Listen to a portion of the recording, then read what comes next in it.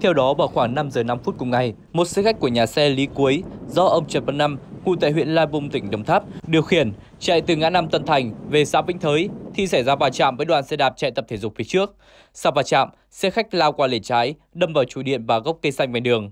Vụ tai nạn khiến người điều khiển xe đạp là ông Trần Văn Ấn chết tại chỗ. Trên xe khách gây tai nạn chở 4 người, trong đó ông Nguyễn Ngọc Sơn chết trên đường đi cấp cứu và ông Nguyễn Hữu Lý chết tại bệnh viện. Vụ tai nạn còn làm hai người trên xe khách bị đa chấn thương, đang được điều trị tại bệnh viện là tài xế Trần Văn Năm và Đoàn Văn Ni. Tại hiện trường, chiếc xe khách 50 chỗ bị hư hỏng nặng phần đầu, bẹp rúm do tông trực diện vào cây xanh và làm gãy đổ hai trụ điện bên đường.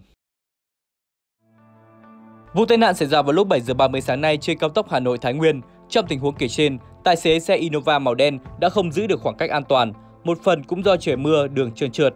Hậu quả là tai nạn xảy ra ngay sau đó khi xe đã đâm vào hai ô tô đi cùng chiều, sau đó đẩy các xe khác về phía trước, đâm tiếp một xe ô tô ở đường trước. Rất may, không có ai bị thương nặng sau vụ việc. Sự việc xảy ra vào khoảng 16 giờ 20 phút chiều qua 28 tháng 2 trên đường 70, gần ngã Tư Nhổn, thành phố Hà Nội. Theo thông tin ban đầu cho biết, một chiếc xe bán tải mang biển kiểm soát 29C 53959 do người đàn ông có biểu hiện say xỉn cầm lái. Chưa hiểu trước đó có mâu thuẫn gì với tài xế ô tô i10. Tài xế chiếc xe bán tải vượt lên chặn đầu, rồi dùng gậy ba tong đập móp và vỡ kính cánh cửa phía sau bên trái chiếc xe i10. Sự việc khiến giao thông ùn tắc vì xảy ra đúng lúc giờ cao điểm.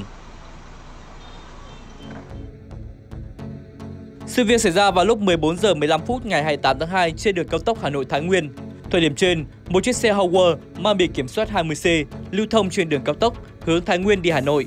Khi đến nút giao Tân Lập khoảng 1 km thì bất ngờ xảy ra va chạm với một chiếc ô tô 4 chỗ lưu thông cùng chiều. Cú tông mạnh khiến chiếc xe Camry xoay ngang trước đầu xe Hover rồi bị đẩy xa khoảng chục mét trên đường.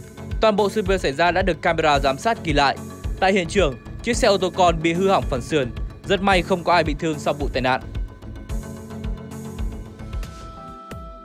Theo camera ninh ghi lại cảnh một người đàn ông đang ngồi trong một sân bãi xe. Bất ngờ tài xế xe tải quay đầu xe đã cua vào người đàn ông đang ngồi. Hậu quả khiến người đàn ông bị bánh xe cán lên người. Sau khi vụ việc xảy ra, người dân trong sân đã nhanh chóng tiếp cận nhắc tài xế xe tải lùi lại để giải cứu người đàn ông trên. Sau khi clip được đăng tải trên mạng, đã thu hút nhiều lượt bình luận của cư dân mạng. Đa số chỉ trích bác tài xế xe tải điều khiển xe đã không quan sát kỹ.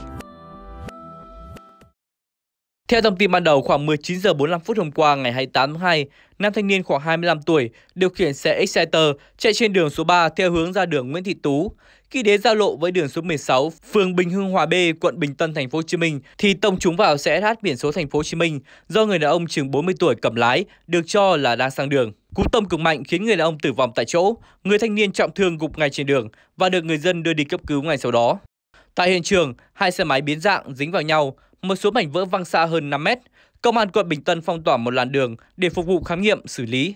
Rất đông người dân hiếu kỳ theo dõi vụ việc.